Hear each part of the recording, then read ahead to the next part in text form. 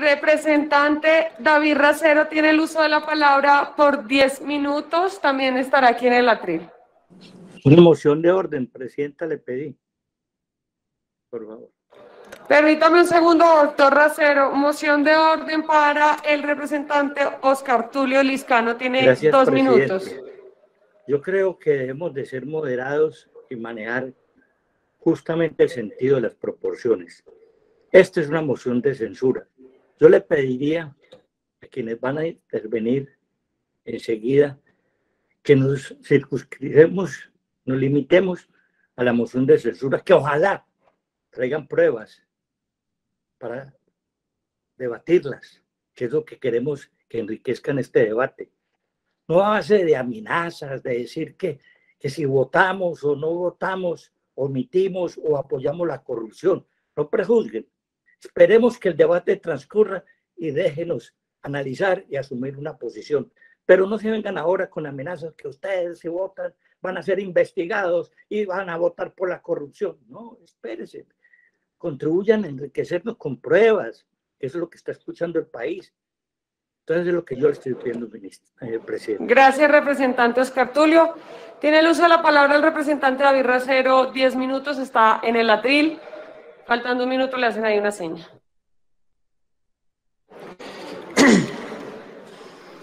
Ministra Karen Audinem, usted es una corrupta.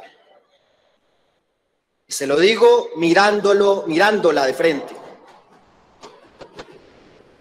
A nombre de millones de colombianos y colombianas que han visto una telenovela en el último mes sobre uno de los escenarios de mayor corrupción en la era de Iván Duque que hasta usted misma lo ha puesto a defenderla. Corrupta, como se lo quieren decir periodistas críticos comprometidos que denunciaron públicamente la vergüenza dentro de su ministerio. Corrupta, como se lo quieren decir las familias de tantos niños y niñas que han perdido un año escolar. Yo mismo, ministra, me desplacé la semana pasada a algunos colegios rurales de zonas muy empobrecidas. Visité el colegio San Antonio de Padua en Boyacá, en una trocha bien metida. Como sabemos de esa tercera Colombia, esa Colombia de tercera categoría que está por allá metida y que los políticos simplemente van allá buscando votos. Y los padres de familia me decían, dígale a esa ministra, dígale a esa ministra que es una corrupta. Dígale, dígale usted allá lo que nosotros no le podemos decir de frente, ministro, ya que estamos a nombre de ellos y de ellas. Usted es una corrupta. Desde nuestra convicción plena, usted es una corrupta. Ya aparecerá el eslabón. Ese eslabón que ya llegará, en la cual usted se encontrará inmersa de manera directa mientras que en este momento tratan de construir un gran cerco de impunidad y de silencio. Esa es su narrativa en el último mes. ¿Qué es lo que le dice la ministra al país? Que es una víctima. Que es una víctima, hágame el favor. Que sus funcionarios fueron engañados. Claro que acá hay un complot, una gran orquesta de corrupción, pero que ya no tiene nada que ver ni sus funcionarios más cercanos, sus funcionarias más cercanas. Y que ella está en el trabajo de sacar hasta el último detalle y su compromiso y que se va a la tumba y yo no sé qué cuántas cosas más para intentar tapar lo que es imposible de ocultar.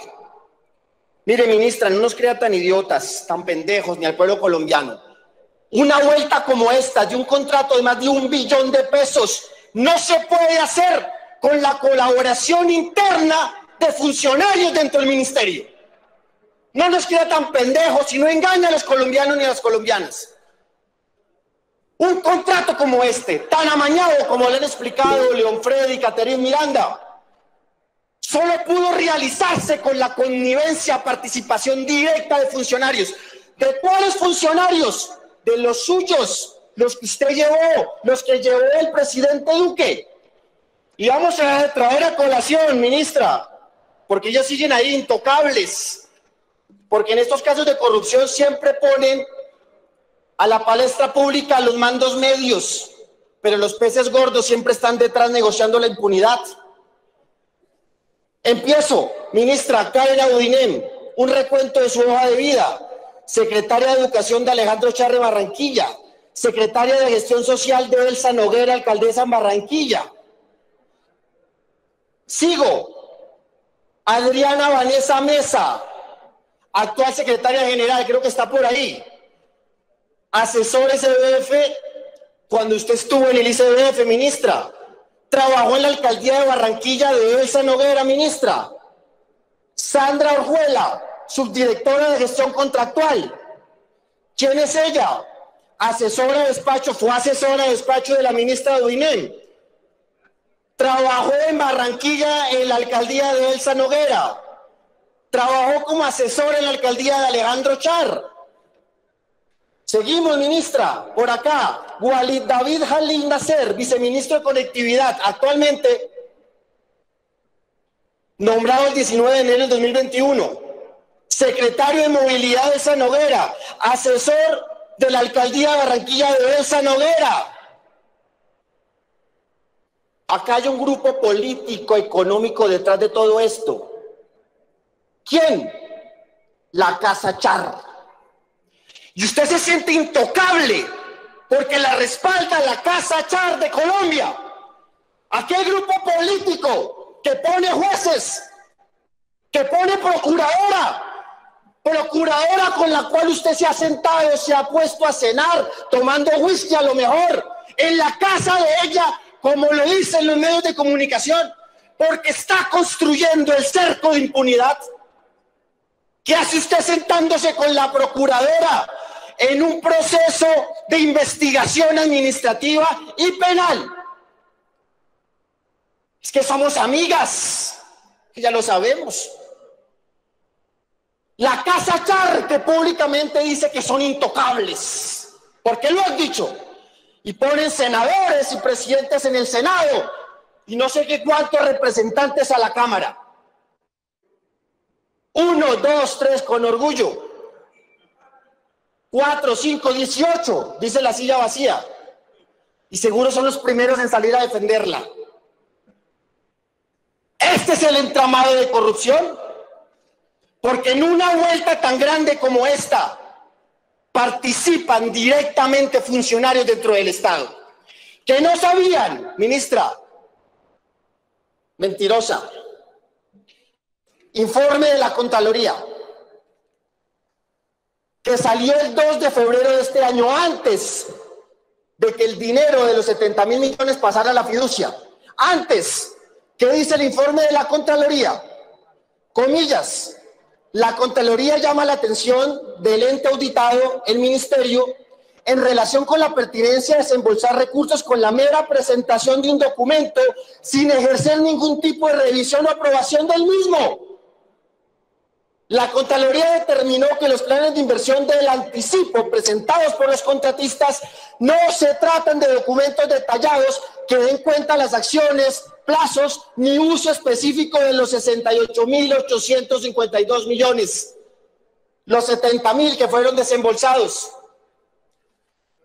La Contraloría ya les alertó antes del desembolso que no había suficiente evidencia en qué se iba a invertir los 70 mil millones y usted, ministra, sus funcionarios firmaron de buena fe, engañados de buena fe. No sean descarados, no sean sinvergüenzas. Se lo dijo la Contraloría antes del desembolso, que no tenían que pasar los 70 mil millones de pesos, hoy perdidos. ¿Por qué lo hicieron? Porque ahí va la coima porque en estos grandes contratos la coima se cobra por adelantado. Y por eso no aparecen los 70 mil millones.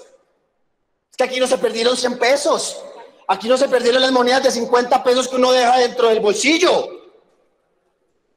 Esa platica ya fue a parar a los ideólogos, a las mentes macabras detrás del gran negocio.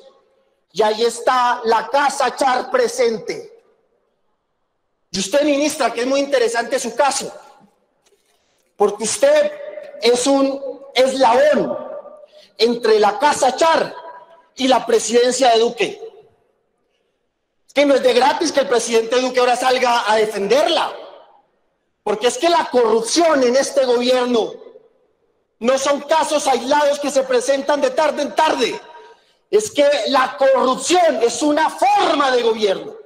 Estamos bajo el régimen de la corrupción. Y ministra, termino.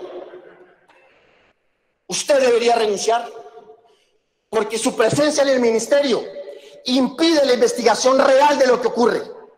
Su presencia, el liderazgo que usted ejerce como jefa, obstruye la investigación y espero que este Congreso pueda mandarle un mensaje al país mientras que se avanza la investigación penal en la que seguro, ministra, usted tendrá que responder.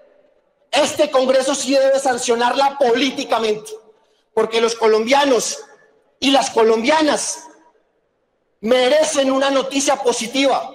Los colombianos y las colombianas merecen un mensaje de parte de este Congreso que les diga, no convivimos con la corrupción. Y el que vote a favor de la ministra se termina volviendo cómplice de ese robo tan macabro que se ha gestado en el Ministerio de las TIC.